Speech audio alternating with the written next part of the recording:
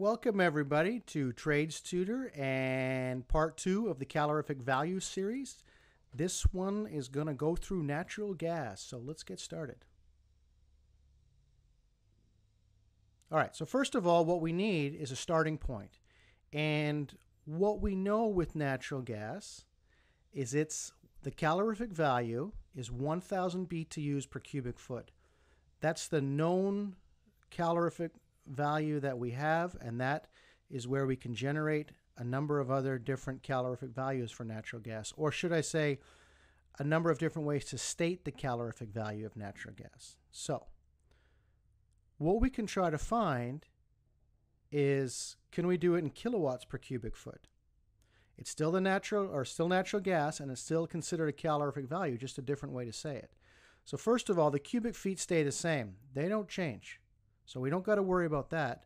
What we do have to consider is that we're going from BTUs to kilowatts now, and we have to change 1,000 BTUs into a certain number of kilowatts. So how do we do that? Well, what we need is the understanding that one kilowatt is 3,412 BTUs. Then what we do is we take the number of BTUs we have and we divide it by the number of BTUs we need to make one kilowatt and that is 3,412. So by doing that, what we're going to generate is a number of kilowatts, and we get 0.293. So another way to express the calorific value of natural gas, it's 0.293 kilowatts per cubic foot.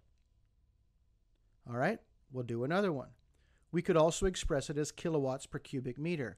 Now in this case, the kilowatts stay the same, no problem there.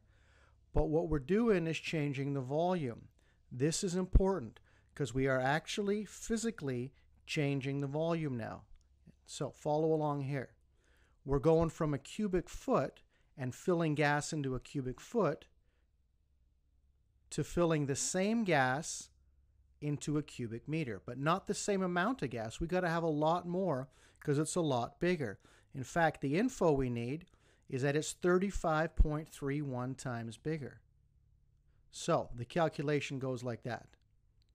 If we get 0.293 kilowatts in one cubic foot, and we were to fill up a whole cubic meter with gas, we would get 35.31 times more, or in the end, 10.35, and that would be kilowatts in a cubic meter. You can see how the the changing from cubic feet to cubic meters, your volume really increases. And what you have to visualize that, even in your head, go cubic foot, cubic meter, which is bigger, which is smaller. All right, and then the then the last one is going to be the BTUs per cubic meter. So we're not changing the volume there. We're okay on that, but we are changing the way we state the gas. So once again, we go to our info needed. One kilowatt is 3,412 BTUs. So we take our number of, let's go down there, we take 10.35 kilowatts, and we're going to have to generate a lot bigger number, so we're going to multiply it by 3,412. And we're going to end up with 35,314 BTUs. All right. Now, through rounding, what we end up with is that we go 35,310. So the idea here is that you have to figure or have to visualize what you're go what you're doing, where where you're starting from, where you're going to, and the variables you need and think about that. Cubic foot to a cubic meter, we're going bigger.